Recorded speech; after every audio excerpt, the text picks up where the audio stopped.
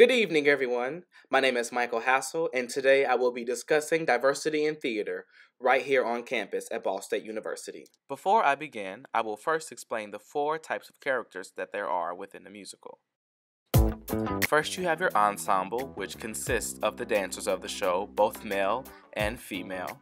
Next, you have your character roles like Jafar from Aladdin, Penny Lou Pingleton from Hairspray, and Lord Farquaad from Shrek. Next, you have your female leads, which usually are Disney princesses such as Ariel and Little Mermaid, Belle and Beauty and the Beast, and Jasmine and Aladdin.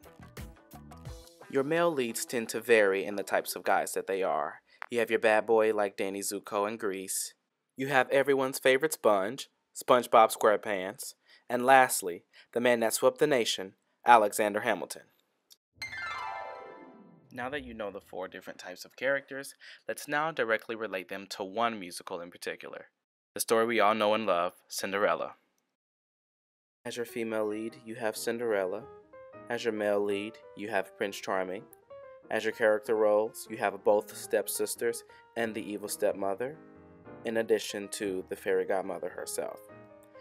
Now, you can recall that I never once said that any of these characters specifically had to be any ethnicity.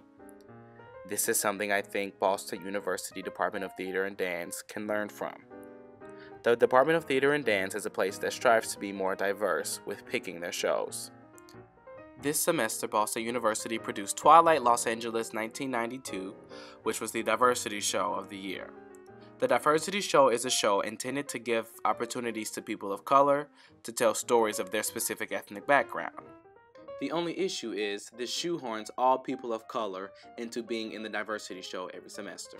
In addition, Ball State produced Damn Yankees, Bunkerville, Pride and Prejudice, and a fall dance concert, It Can Happen Here. Out of the 96 roles offered this semester, 0% needed to be white.